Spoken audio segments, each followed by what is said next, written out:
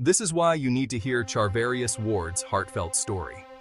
It's a tale of love, loss, and unyielding courage. San Francisco 49ers cornerback Charvarius Ward shared heartbreaking news this week. His one-year-old daughter, Amani Joy, passed away on Monday morning. Despite facing health challenges from birth, including Down syndrome and two holes in her heart, Amani's spirit remained unyielding.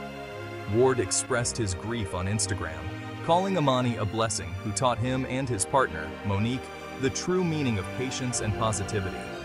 Her infectious joy and radiant smile left an enduring mark on everyone she encountered.